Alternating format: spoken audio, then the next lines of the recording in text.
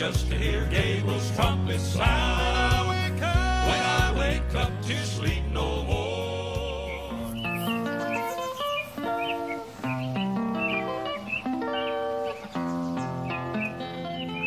America, land of the whore.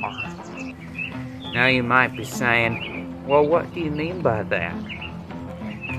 Turn in your King James Bible the book of Leviticus, chapter 19, verse 29. Do not prostitute thy daughter to cause her to be a whore, lest the land fall to whoredom, and the land become full of wickedness.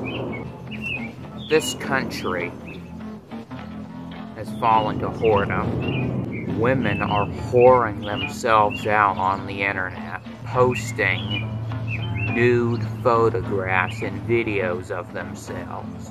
I can't even count the amount of pornography websites that are on the internet.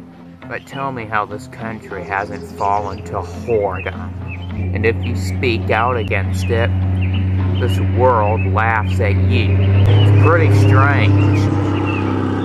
Well, it's not strange, because the Bible said that the world would make fun of us.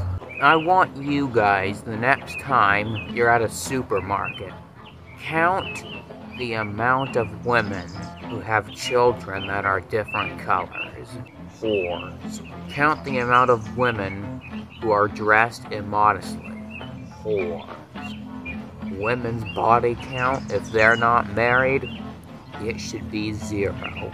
The Lord saved you and you had a wicked past. That's a different story. But that's not what we're talking about in this video. That is going to be it for this video.